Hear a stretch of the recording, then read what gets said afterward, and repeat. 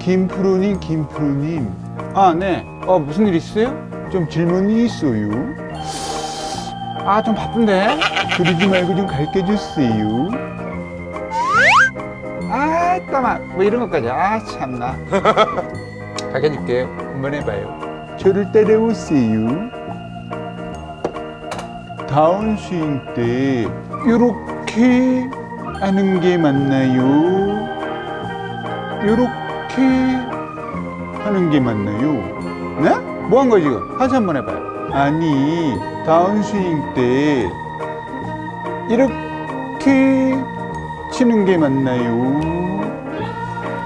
요렇게 치는 게 맞나요? 아, 둘 다 틀렸어요. 틀려먹었어요. 구독과 좋아요 부탁해요.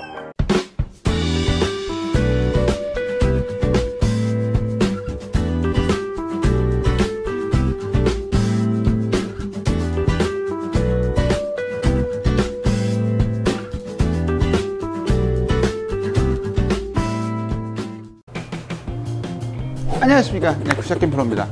어, 최근에 이제 뭐 모든 골퍼들의 그 영원한 숙제인 비거리 늘리기, 어, 이런 거를 하고 있는데, 기본적으로 이제 우리가 다운스윙 때 어떻게, 어떤 힘을 써야 되고, 어떻게 해야 되고, 이런 걸 잘 모르시는 분들이 많은 것 같아요. 물론 그 각기각기의 어떤 레슨을 하다 보면 몸은 이렇게 돌리고, 뭐, 뭐를 이렇게 하고, 뭐 이런 것들이 있지만, 우리가 원론적으로 원하는 것들은 별도로 있다라고 생각을 해요. 그리고 제가 생각할 때는 좀 젊은 골퍼와 나이가 좀 있는 중장년 골퍼들의 레슨은 그 방법이 조금씩은 달라야 된다고 생각합니다. 근데 아무튼 오늘은 좀 원론적인 얘기로 들어가서 어떻게 하면 우리가 손으로 치지 않고 팔로만 치지 않고 상체로만 치지 않고 하체를 어떻게 해서 이용하는 것이 더 좋은지 어, 그것에 대해서 한번 이야기를 해 볼 텐데요. 어, 실제로 뭐 제가 이런 레슨도 많이 하긴 했는데 어, 그 약간 앞부분을 좀 자른 상태에서 이렇게 하는 것이 좀 괜찮을 것이다 라고 레슨을 했었어요. 근데 오늘은 그 원론적인 얘기를 좀 해드리면서 어떻게 하면 우리가 하체 위주의 스윙을 해서 좋은 다운 스윙을 만들 수 있을지 그것에 대해서 한번 알아보도록 하겠습니다. 자, 여러분들 구독과 좋아요, 알람 설정 부탁드리면서 친구 출발할게요. 위어 끄고. 배꼽이 나왔네. 그 거지! 자, 오늘의 얘기는 뭐냐면, 기본적으로 스윙을 하실 때, 그전에도 뭐 저뿐만이 아니라 박태성 프로도 나와서 얘기를 했지만, 백스윙을 하고 순차적으로 먼저 하체를 밟은 다음에 상체가 나가고 회전을 해라. 이런 식의 레슨은 굉장히 많이 했었고, 그리고 실제로 이 관련된 영상이 상당히 많이 있습니다. 근데 우리가 기본적인 거를 우리가 생각해 볼 필요가 있어요. 이 허리를 언제 도대체 쓰면 되느냐. 예를 들어서 자 요거를 제가 들고 있는데 옛날에 많이 했던 게 이 장갑을 낀 손이 하체라고 그러고 오른손이 상체라고 그러면 사실은 스윙은 이렇게 돌아서 이렇게 치는 게 아니라 얘는 요만큼만 들고 상체가 더 많이 돌아서 이렇게 지금 요거 보이시는 것처럼 확 짜준 다음에 그죠? 확 짜준 다음에 이 꼬임으로 인해서 이 요 하체가 먼저 돌아서 이 꼬임이 더 강력하게 되면서 이게 쫓아가는 이런 형태, 이 꼬임을 굉장히 많이 얘기를 하는 것이 스윙이거든요. 일반적으로 그렇게 얘기를 하지만 제가 그전에도 얘기했다시피 연습을 하실 때는 허리가 무리가 많이 가기 때문에 거의 그냥 이렇게 가지만 백스윙도 마찬가지 옛날에는 뭐 허리는 45도 안 돌리고 어깨는 더 많이 돌려라 이렇게 했었지만 그것들은 제가 볼 땐 거의 선수들의 얘기고 백스윙 같은 경우는 요즘에는 그냥 이렇게 다 해도 됩니다. 단지 이 하체와 상체가 같이 가는 동작이 나오면 비거리가 나지 않겠죠. 뭐 예를 들어서 뭐 웨지샷이나 이런 거는 약간 이렇게 쳐도 상관은 없겠지만 실제로 이렇게 돌아서 비거리가 안 나는 분들이 상당히 많거든요. 제가 한번 흉내내 볼게요. 보통 어떻게 치시냐면 잡고서 마치 7번 아이언을 치는데 웨지샷을 하는 것처럼 이렇게 같이 도시면 어떤 파워나 무슨 뭐 힘이나 이런 거에 상관이 없이 거리가 나질 않습니다. 그리고 또 어떤 분들이 있냐면 지금 한 얘는 같이 도는 얘였지만 이렇게 상체와 하체가 거의 동시에 같이 도는 얘였지만 어떤 분들도 심지어 이렇게 하시는 분들도 있어요. 하체가 너무 빨리 나가요. 자, 제가 한번 해볼게요. 하체가 좀 적당히 빨리 나가줘야 되는데 어떻게 나가냐면 이런 식으로 말도 안 되게 하체가 너무 빨리 나가서 어, 허리에 어떤 통증을 좀 느끼기도 하고 실제로 뭐 비거리도 뭐 그렇게 별별 없이 많이 나가지도 않고 이런 분들이 있어요. 근데 이런 부분들은 보통 좀 약간 제가 볼 때는 한 30대 정도의 골퍼들 중에 거리를 내려고 난 아직 젊어 거리를 내려고 좀 더 욕심 부리는 분들에게 더 많다라고 생각을 해요. 근데 그것이 틀린 건 아닌데 틀린 건 아닌데 이 하체가 상체가 뭐 너무 가기도 전에 너무 빠른 타이밍에 움직이기 때문에 문제가 되는 거죠. 그래서 실제로는 어떻게 가는 것이 정, 어, 이론적으로는 어떤 게 제일 좋냐면 백스윙을 이렇게 올라가서 이 상체가 있잖아요. 정지돼서 치는 연습을 주로 많이 시키긴 하지만 실제로는 올라가고 있는데 얘는 계속 가고 있는데 얘가 출발해야 되는 상체는 계속 이렇게 오른쪽으로 제껴지고는 있지만 얘는 이렇게 출발해야 되는 이래서 꼬임의 극대화를 만드는 이 동작이 필요하긴 합니다. 이 동작이 되게 필요해요. 그래서 이 동작을 잘만 하면 아주 딱 맞는 그 동작만 맞춰만 놓을 수만 있다면 비거리는 굉장히 늘어나게 되죠. 그리고 상체 힘이 저절로 빠지면서 상체가 하체를 그냥 쫓아가고 뒤에서 봤을 때도 상체가 이렇게 올라가는 도중에 얘가 움직이기 때문에 클럽이 이런 식으로 뒤에서 잘 떨어지게 돼요. 그래서 비거리도 많이 낼 수 있고 방향성도 저절로 좋아지는데 아까 얘기한 건 뭐냐면 같이 가거나 같이 가면 무조건 이렇게 엎어치는 동작이 많이 나오죠. 그죠? 같이 돌아야 되니까. 다음에 너무 빨리 가거나 너무 빨리 가면 일단 몸에도 무리가 되지만 일단 볼이 잘 맞지가 않습니다. 그래서 좀 적당하게 가야 돼요. 적당하게. 그러면 적당하게를 어떻게 가야 되느냐?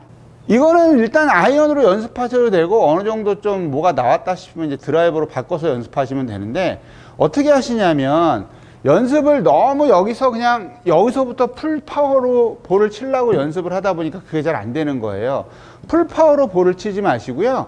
한 요쯤, 요쯤에서부터 볼을 이렇게 직접 치셔도 되고 연습도 되게 좋은데 느낌 상태로는 성, 이 정지가 돼 있는 상태에서 얘부터 출발한다. 이건 굉장히 단순한 얘기니까 여기다 1단계가 여기, 그 다음에 뭐 한 이쯤, 그 다음에 3쿼터, 그 다음에 풀스윙 이런 식으로 연습을 하시는 거죠. 그래서 어떻게 하느냐 하면 얘가 멈춰서 가는 것도 좋은 연습이지만 우리가 이게 잘 안 되는 분들이 많기 때문에 여기서 멈추지 말고 한 요쯤에서 우리가 이쯤에서 볼 이 힙을 돈다고 생각을 하지만 사실은 얘는 여기 있지 않고 이렇게 올라가는 와중에 천천히 해볼게요.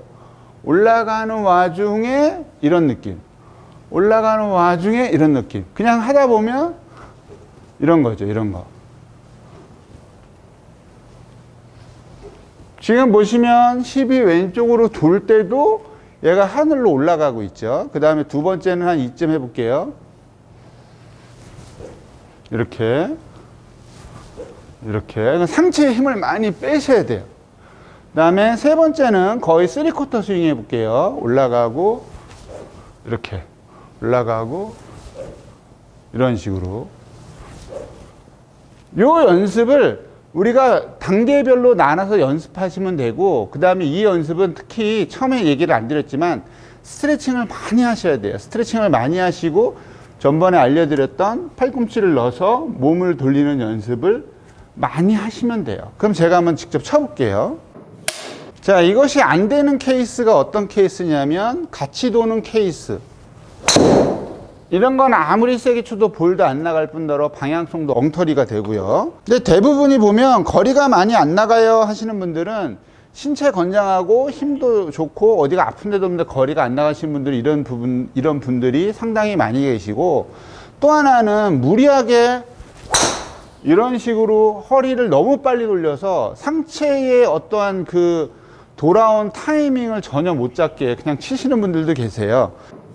자, 그래서 연습을 어떻게 하라 그랬지? 제가 여기서 올리고 올리면서 가고 올리면서 가고 올리면서 가고 그죠? 올라가는데도 가는 이미지로 가볍게 휘두른 다음에 그냥 볼을 한번 쳐보시면 될 것 같아요.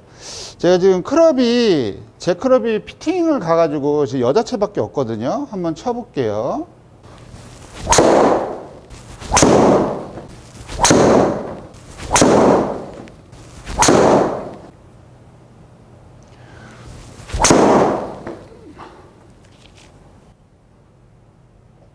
괜찮죠? 네, 괜찮습니다.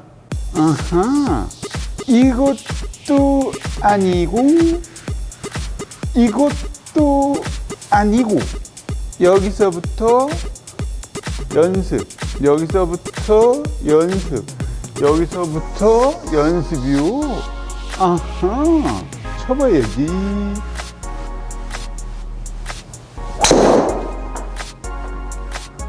아하. 그, 그 템포를 한번 익숙하게 한번 해보세요. 잡고, 하나, 둘, 셋. 이렇게. 하나, 둘, 셋. 자, 그래서 그 오늘은 허리를 어떻게 쓰는지, 이 상체와 하체의 꼬임을 어떻게 만드는지 아주 간단한 연습 방법을 알려드렸는데요.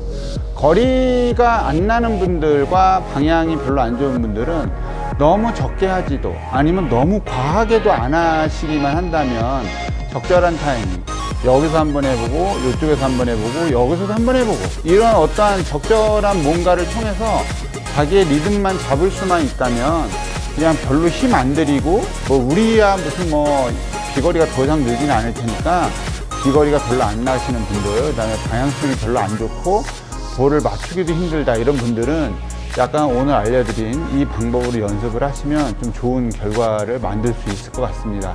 자 그럼 다음에 좀 더 좋은 레슨과 컨텐츠를 찾아뵐게요. 네 기부였습니다. 좋은 하루 되시고요. 감사합니다.